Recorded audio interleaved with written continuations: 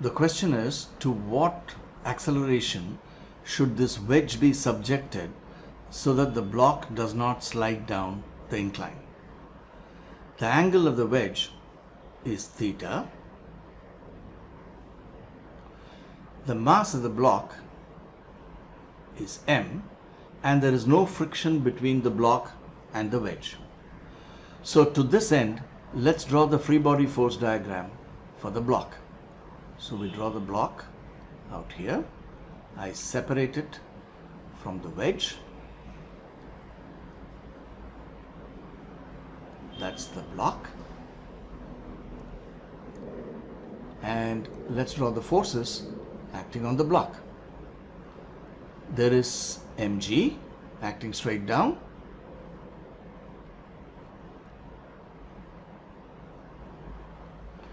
there is the force of normal reaction acting perpendicularly to the wedge. And those are the only two forces. There is no friction. These are the forces acting on this block at one instant of time. Now let's take our x-axis pointing to the right in the direction of the acceleration not along the incline but horizontally. Why?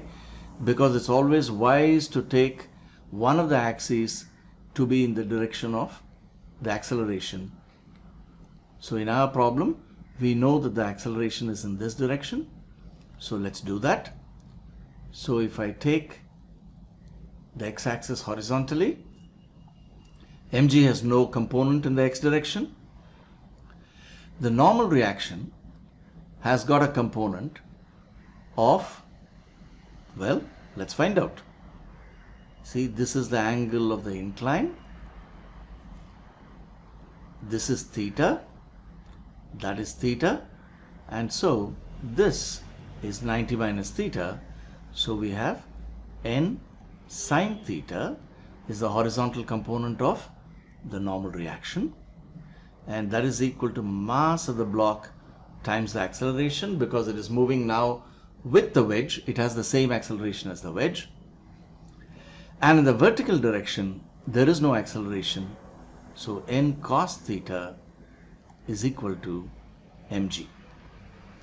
So if I divide equation 1 by equation 2, we get tan theta is equal to a by g and that tells us the acceleration required is g tan theta. If the acceleration is less than this, the block will slide down the incline. If the acceleration is more than this, the block will slide up the incline. This is the exact acceleration for which the block will stay on the incline as the incline accelerates.